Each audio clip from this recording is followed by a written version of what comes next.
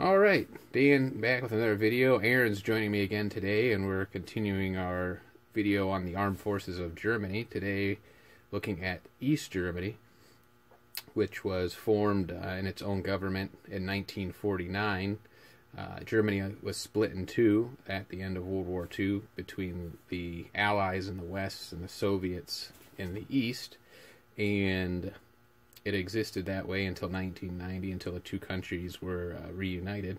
If you look at this uh, uniform, you might think it looks a lot like a World War II German uniform, and that would be because the East Germans, when they formed their military, uh, you know, weren't particularly enthused about modeling themselves after their Soviet occupiers, so they tried to preserve a lot of the Prussian traditions in the German military. So uh, the training, uniforms, and traditions uh, were all very similar to that of the World War II era Wehrmacht. And I'll let Cabell go from here and talk a little bit about this uniform. Yeah, this is part of the Stasi regiment. Um, the Stasi were similar to the KGB in East Germany. They worked hand in hand with them. Um, espionage, internal security, that was their main thing. Um, we can see this as the Wacht Regiment F. Dzerzhinsky collar uh, um, tab there. Um, this is the rank of a private. The way we can tell that is epaulets here are plain. You do have a burgundy stripe that that's for the Stasi. Also, you'll see burgundy here and here. Um, we have a military sports badge that only came in one class, which was a gold color. This is a shooting proficiency lanyard. Um, this shows that it was an infantry style. That was the majority of what was issued to them. Um, now, these units were responsible for guarding the Stasi and state buildings. Uh, that was the primary job of the uh, Wacht Regiment to do that. Um, and they, they went into, you'll see different ranks and different things, but this is just your basic infantry soldier. He would just be a sentry there. Okay.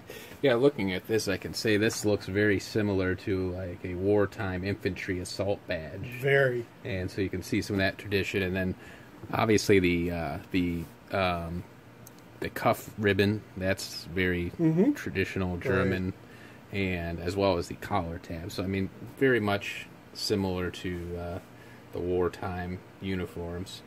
Um, in the background, I think we have an original uh, East German flag from Aaron's collection, um, which is, is pretty neat to see.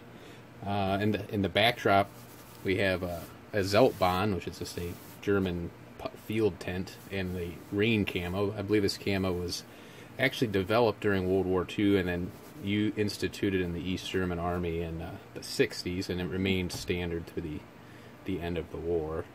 Um, so from there, I'll let Cabell talk about uh, maybe some of these awards we have from the East German military. Okay, we'll basically go over a few of them because literally we could spend days going over the awards alone. Um, here's one which I'll share. That is the Patriotic Order of Merit. It was a higher ranking order. Came in three classes bronze, silver, and gold. This is the bronze. Um, this is an earlier strike, probably from the 60s or 70s, the reverse of it.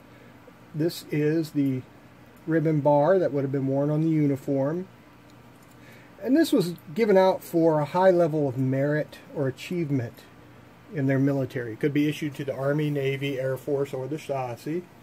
Um, it did have a higher grade, the fourth grade basically, which was a gold medal here, but they replaced this clasp with one that had a wreath with diamonds on it.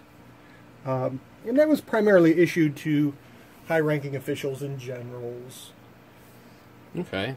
And I think we could probably to point out uh, for some people, the East German military never did see any combat, direct combat. No. Uh, uh, thankfully, Cold War tensions never rose to that point. But um, I'll let you continue.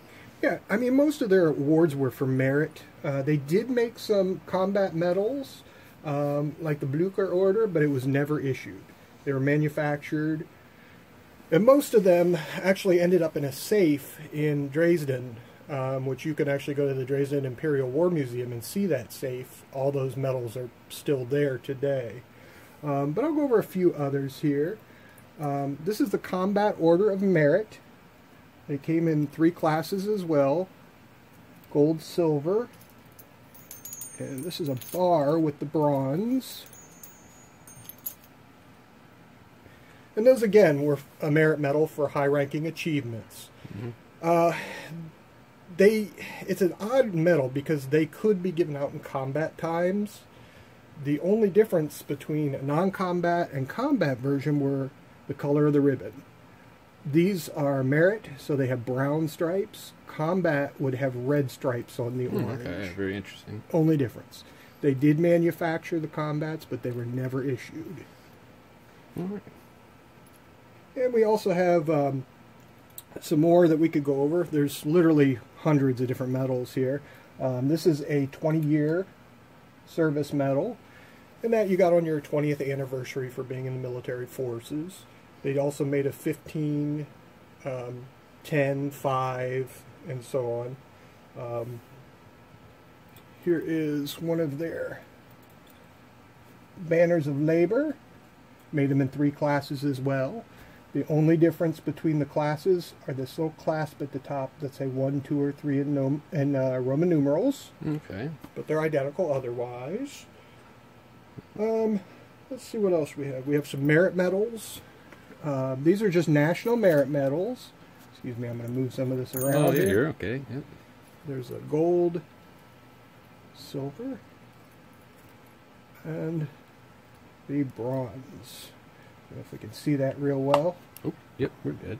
But uh, those now, those you would see your average soldier to your lower rank of officer would generally get awarded those for merit, um, fulfilling their jobs to excellence. We also have, these are an interesting one here. Uh, these are Brotherhood medals. Okay. These were given out for strengthening the relations between the Warsaw Pact countries. Oh, okay. And actually, if you look at that, you can kind of see. It looks like there's a East German soldier on there. On the, I think on the left, Mhm. you can see that classic, And a Russian. and a Russian there. Yeah. Yeah. So, uh, yeah, that's pretty interesting. And those could be awarded to Warsaw Pact members as well as East Germans as well. All right. But that's a few of the medals there. Okay.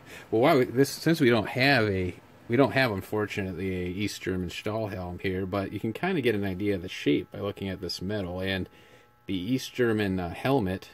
Um, look one up if you'd like. Uh, was patterned after an experimental World War II design that the Wehrmacht never utilized. Uh, but it turned out to be a quite effective helmet if you ever look at ballistic tests done on it and um, a, a lot of the equipment used by the uh, East German military was either left over from World War II or newly manufactured in almost identical way. Even look at the, we have a canteen here, very similar in design to the wartime canteen, although this one is plastic. A lot cheaper manufacture. Oh yeah, for sure. If you, if I can get it open here. East Germany in general was a very poor country. Yes, unfortunately, I mean, socialism generally didn't work out for any of the Warsaw Pact countries, and East Germany, Czechoslovakia, they weren't very enthused about accepting their Soviet rule. I mean, this is kind of a, it's very tinny in comparison to a World War II one. Stamped aluminum. And if you look at this quality, this plastic, it almost looks like plastic like a kid's toy would be made from. And I assume this is probably an 80s production, but it's very, it's just very cheap plastic. So you can kind of see the low quality. I can't imagine in combat this would have held up for too long.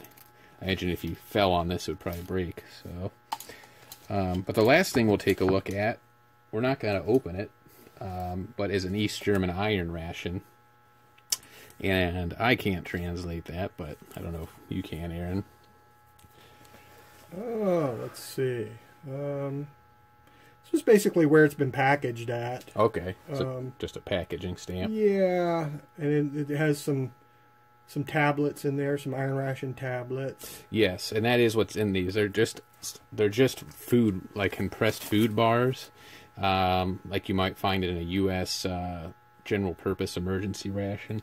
So there is, uh, if you check out Old Smokey's channel, he does open one of these and eat it. But this was manufactured in 9 of 90, so September of 1990. So this was probably one of the last rations made before the two countries unified in October of 1990. Um, so it's pretty basic, but it keeps with that tradition going back to World War II with the issue of iron rations for emergencies, and I believe their military otherwise did operate on the premise of using field kitchens. And they did have a larger field ration uh, that uh, is pretty hard to find even pictures of. Unfortunately, I don't have an example one here to to show you. But uh, hopefully that'll spark your interest and maybe looking up some more uh, information on East German military and some other channels to check out. I said Old Smokey uh, and Mark Felton Productions have some excellent videos. And please, if you liked our video, subscribe and thank you for watching. Thank you.